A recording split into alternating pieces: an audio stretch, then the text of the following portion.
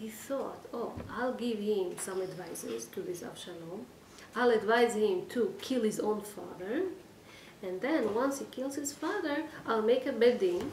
And the court will say, oh, you are to be blamed that you killed your own father. They will execute him because I am the highest uh, advisor, the highest minister. I'll become the king.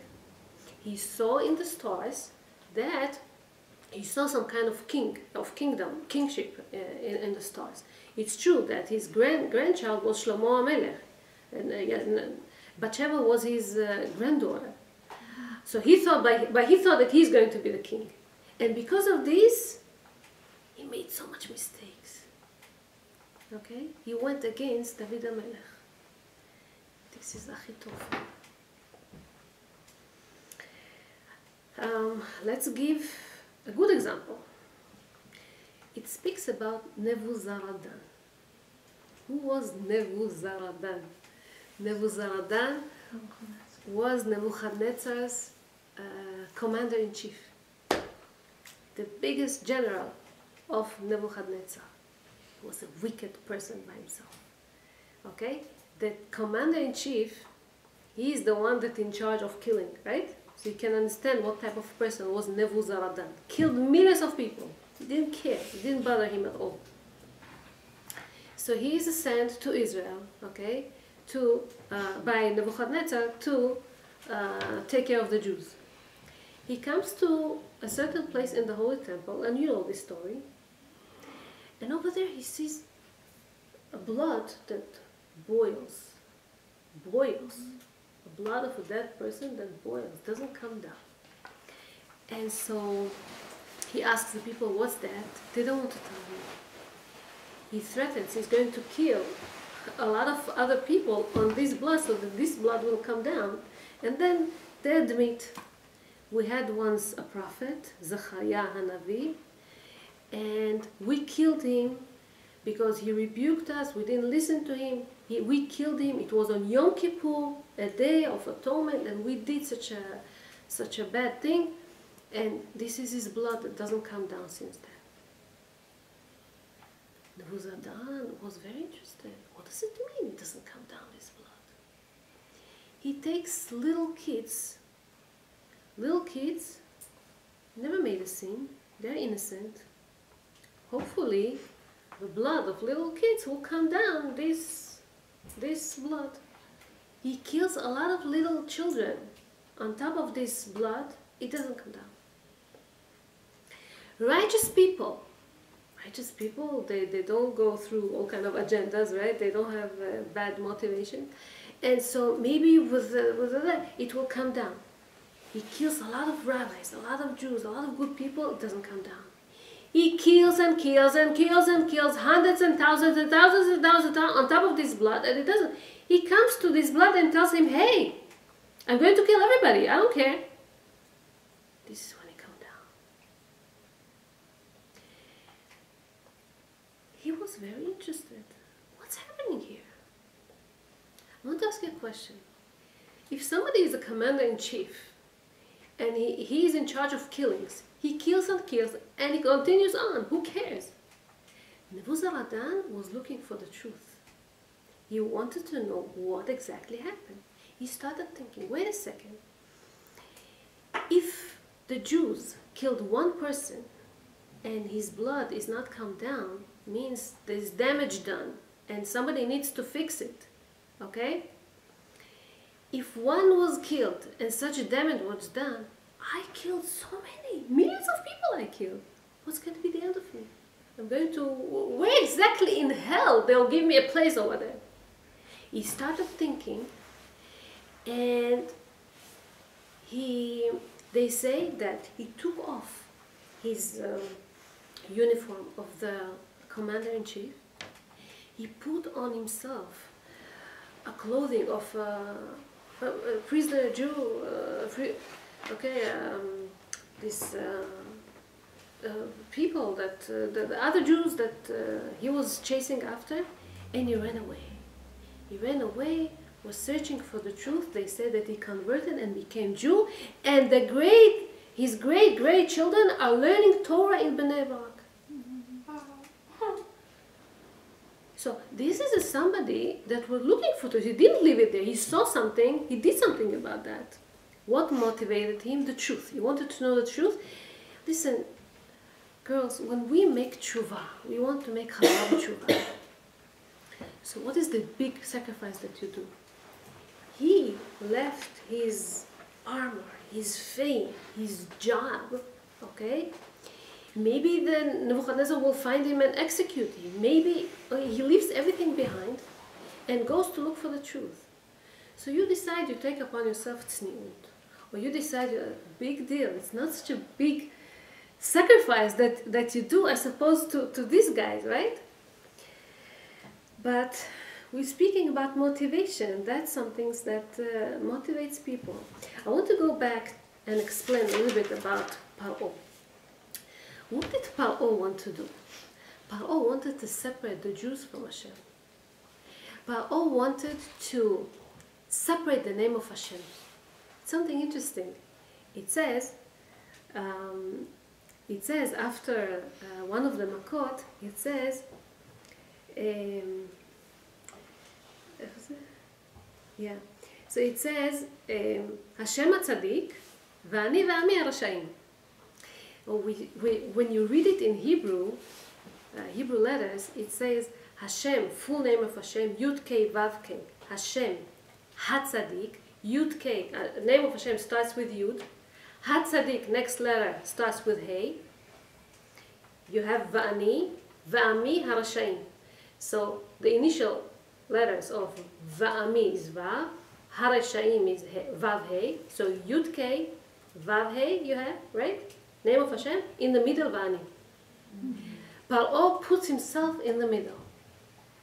He doesn't, na- doesn't want the name of Hashem to be complete.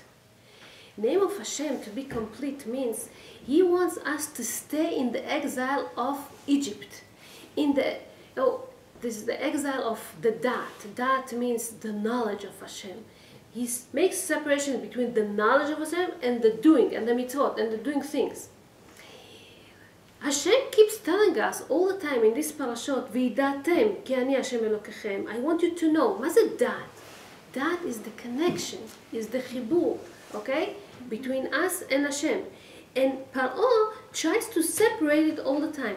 Va'ani also, Otiot, the letters of Oni. Oni means my power. Kochi ve'otzem yadi, right? Oni is my power, my strength. Me, Ani, Ani.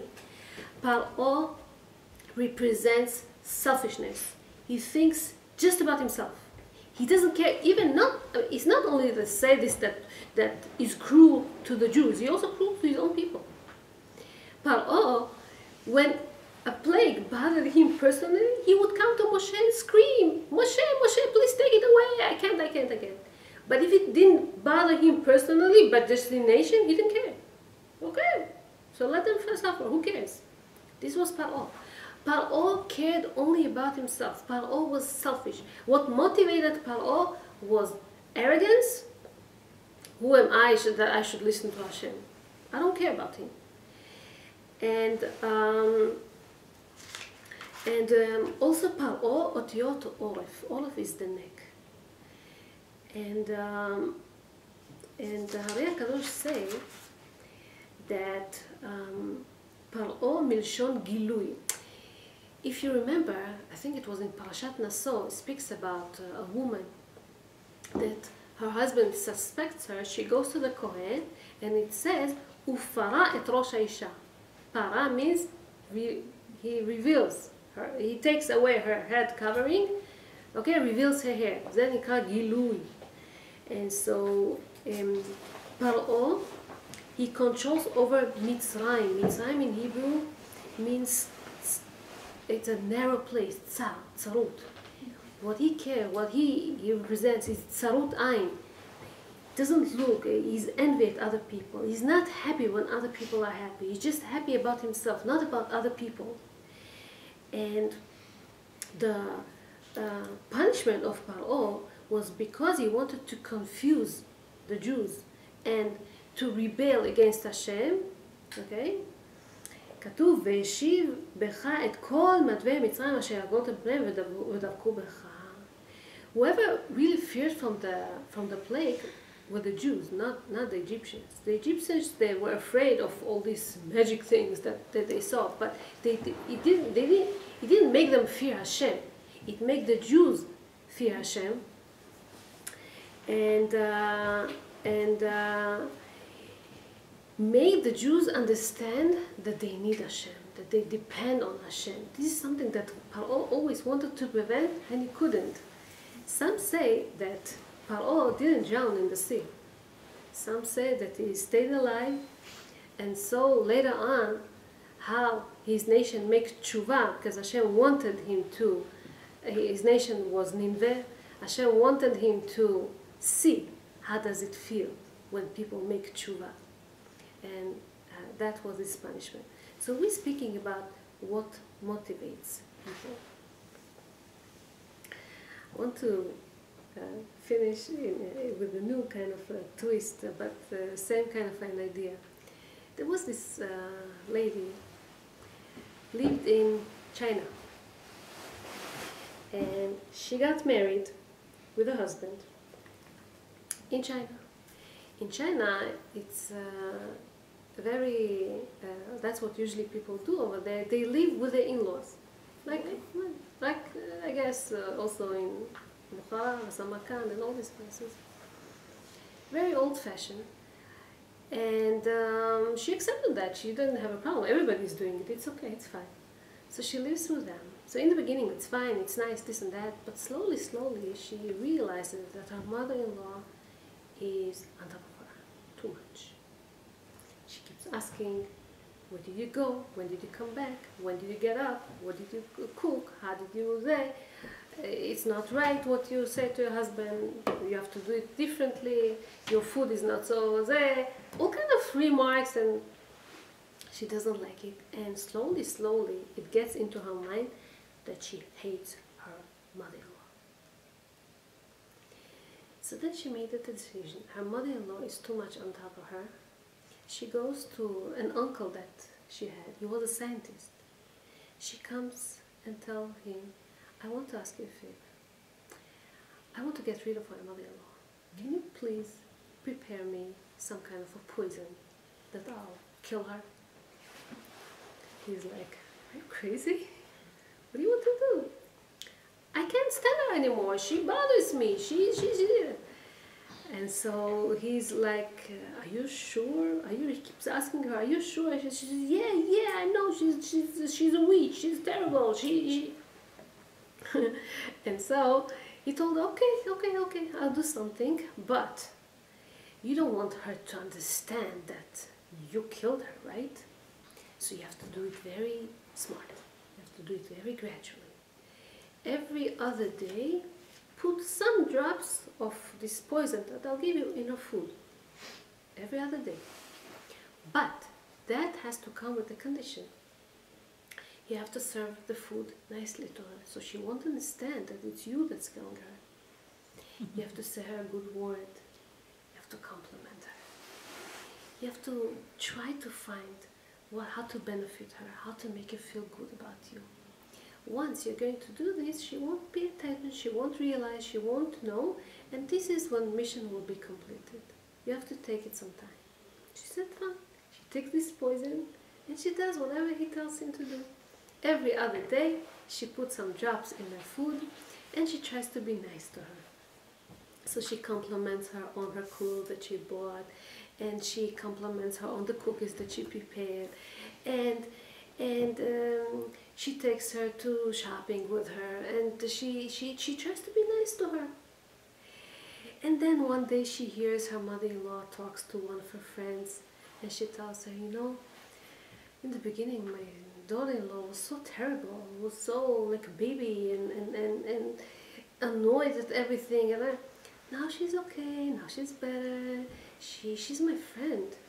She takes me to places, I like her food, she cooks very nice. She's taking care of her husband very good. She hears that. She feels good. And then the next day, they chat together and they laugh and they have good time together. And then they share some recipes and then da da da. Some time passed. And she realized that she made a mistake. She doesn't want her mother-in-law to die, God forbid. She became a friend. And what she should do? She is every day she's killing her. She goes back to her aunt, to her uncle, the scientist, and she tells him, "Listen, I I made a mistake. I, I, don't want to kill her. She's my friend." He tells her, "Are you sure?" She says, Yes, I was so young. I, I didn't look at things the right way. I, I, I, I thought that she wants to overcome, she wants to control over me. I, I thought that she wants to all the time find my disadvantages. I thought that, but she's not. She's kind, she's good. And yeah, I became a friend. And what should I do now? He tells her, Well, I tell you the truth. I saw that uh, you are angry and you're upset and you were just newly, ma- newly uh, married and probably it's a whole big mistake. So instead of poison, I just gave you some vitamins. vitamins. Nothing wrong, everything is okay. But you know something? You learned that once you give, once you uh, compliment, once you share, you become friend. And you change your view, you change your outlook, that's only for your own benefit. Yes, so this is what we learn. We learn that it's all in our minds. And once we change the way that we think about our husbands, about our mother-in-laws, about our own mothers, about brothers, about neighbors, about friends, once we start thinking positive about things, okay, we're happier. That's what Hashem wants from us. Thank you. Thank you. Any question?